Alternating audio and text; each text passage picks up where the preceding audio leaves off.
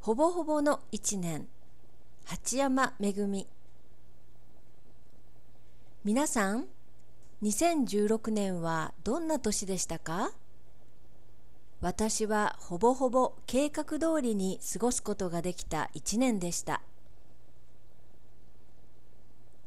ところで皆さんはほぼほぼという言葉を聞いたことがありますか？実はこの言葉は辞書で有名な三省堂が主催した今年の新語大賞に選ばれました。新語として選ばれる基準はその年を代表する言葉で今後の辞書に掲載されてもおかしくないもの。今後定着しそうな言葉なんだそうです。流行語大賞とコンセプトは違って耳に残るインパクトのある言葉ではありませんがこれから次第に広まって日常的に使うようになるのではないかという視点で選ばれるこのイベントは面白いと感じました。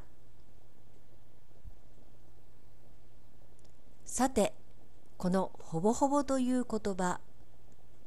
100%とは言えませんがほぼよりも100%に近い状態のことを言います。このように同じ単語を重ねてできた言葉を情語というのですが日本語にはこの情語が数えきれないほどあります。皆さんも情語を使って2016年を表してみませんか？そこそこの一年それとも上々の一年あるいはヘトヘトの一年まだまだいろんな一年が表せそうですね。